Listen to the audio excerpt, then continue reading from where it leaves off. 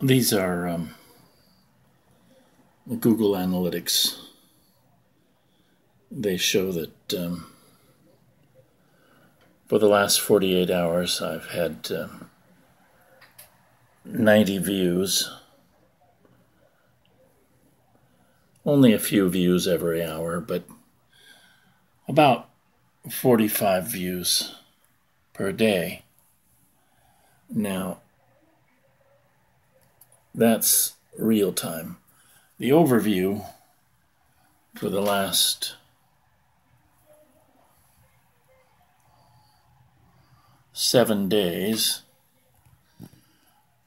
These are the minutes watched for the last, for seven days up until day before yesterday, from the 14th through the 20th, from uh, Saturday through Friday. These are the average views. So you see the average viewer watched for two minutes. Now, that's a, a, statistic which I take with great seriousness. It generally is around two minutes, and it's almost got me to the point where I'm thinking making all my, my videos be at least shorter than five minutes, maybe not as short as two minutes, but you can see here, for example, that. Uh, this this one here, this bigger one, 2 minutes and 52 seconds, and the shortest one, 1 minute and 36 seconds, which leads to an average of 2 minutes and 17 seconds. The little down pointing triangle signifies that this seven day period is a shorter view than usual. The number of views over these seven days is up a little bit, and um, that's almost 50 views per day. I usually get 30 or 40, but it's up a little bit. Now, these analytics are extremely detailed. There's all these different categories over here. This is just the overview that you can do. Well, we already I already showed you real time. But you can see my revenue, which is only a few pennies a week. Um, how how long people watch these videos, where they're from, what kind of machines they're using, and so forth and so on. Now, I find these to be extraordinarily intriguing, and they help me with the question of just who is watching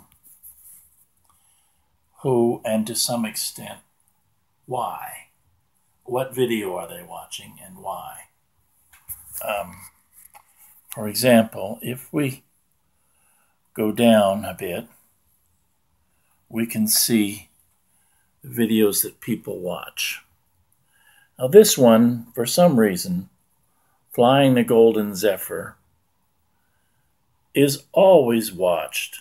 People watch it and they watch it for a long time. And I have been pondering that question. Why?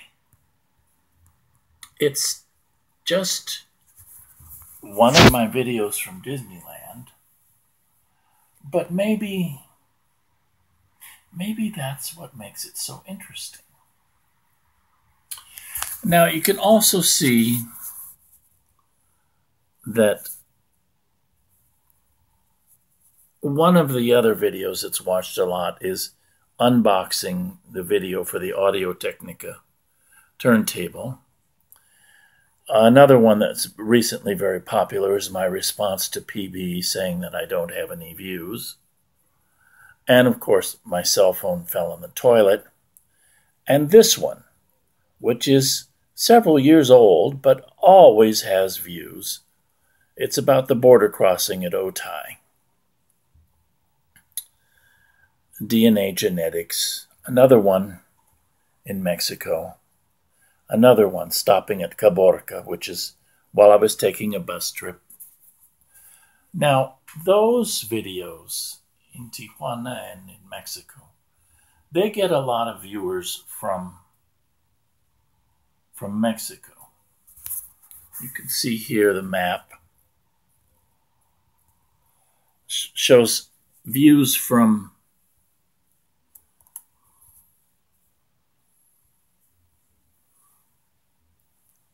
we have in the last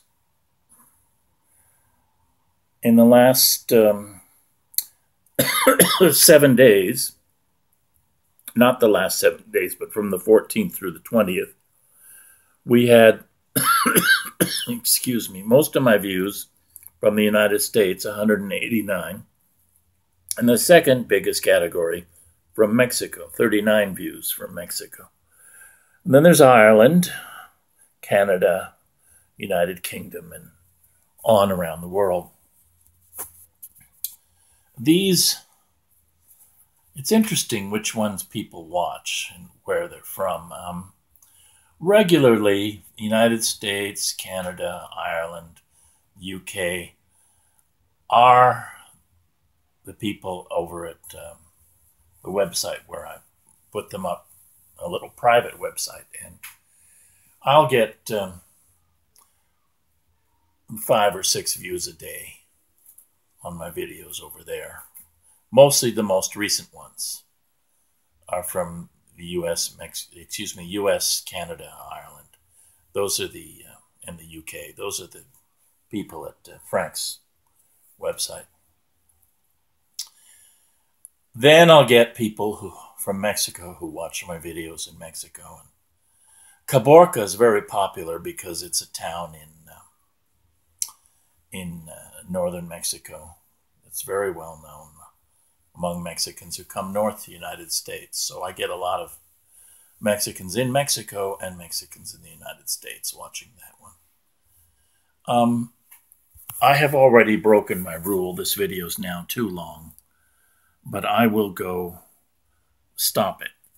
And uh, we will continue this theme later on.